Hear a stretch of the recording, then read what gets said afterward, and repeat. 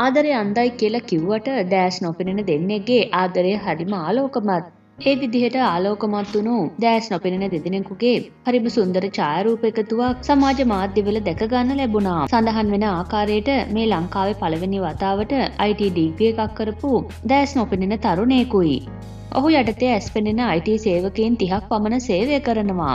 ඇස් පෙනෙන නොපෙනෙන කාටත් ආදර්ශයක් වුණු ඔහුටත් ඔහුගේ අතගත් ආදරවන්තයටත් ඔවුන්ගේ සුන්දර විවාහ ජීවිතයටත් අපි අපේ උණුසුම් සුබ පැතුම් එකතු කර සිටිනවා.